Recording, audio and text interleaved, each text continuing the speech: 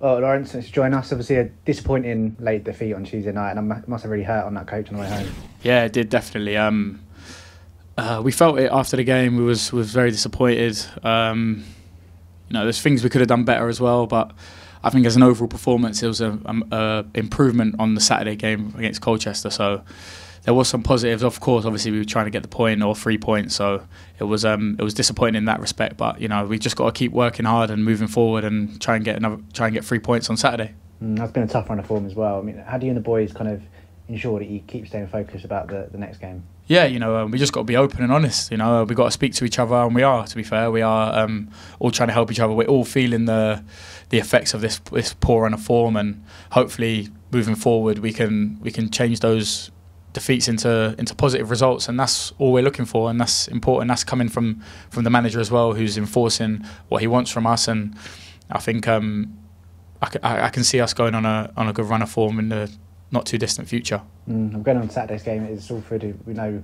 quite a lot about, played, played them a lot in recent years, and uh, one that will be a tough game. Yeah, of course. You know, um, especially with you know with their owners and what they what they bring to the table in that respect. Um, they're, they're they're a big club, you know, in terms of the investment. So it'll be a tough game. Um, but every game in League Two is a tough game, and I think um, we've just got to, you know, just keep working hard and focus on ourselves because that's all we can do, you know, to be fair, and and hopefully we can get three points um, Saturday at home. Mm. And up until not too long ago, our home form was was frightening, really. So it'd be really big positive if we can, you know, arrest that, get a win Saturday, and then you know attack that last part of the season, knowing how good we can be at home. Yeah, definitely. Um, we, we, we've got to come in the same mindset we had earlier in the season where we thought we could beat anyone at home. And I think that's gone a little bit, but I feel like, you know, um, we've had a we've had a few players missing. I don't want to make excuses, but you know um, that that's a big part of football, and you know hopefully we get a few players back, and and then we can just attack the rest of the season the way we did in the beginning of the season, and see where that takes us. Mm. In terms of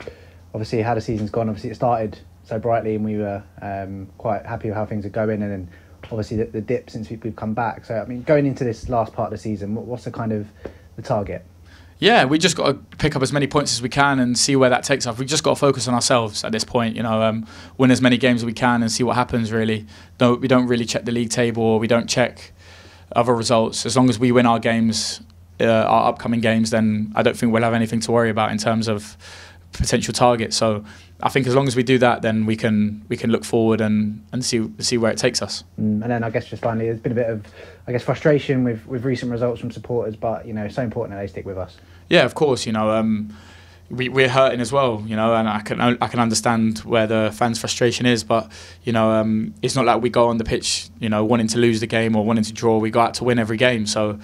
Um, I think it's important that they stick with us. But again, we've got to, in ourselves, know that we need to do better, and, and we do know that, and that's the most important thing for me. Um, definitely, you know, I always worry about how I can do better with certain things, and and I think that feeds onto a lot of the other boys that that feel the same thing. You know, um, we need the fans with us, but you know, we just got to win for ourselves as well. You know, I think that's the most important thing.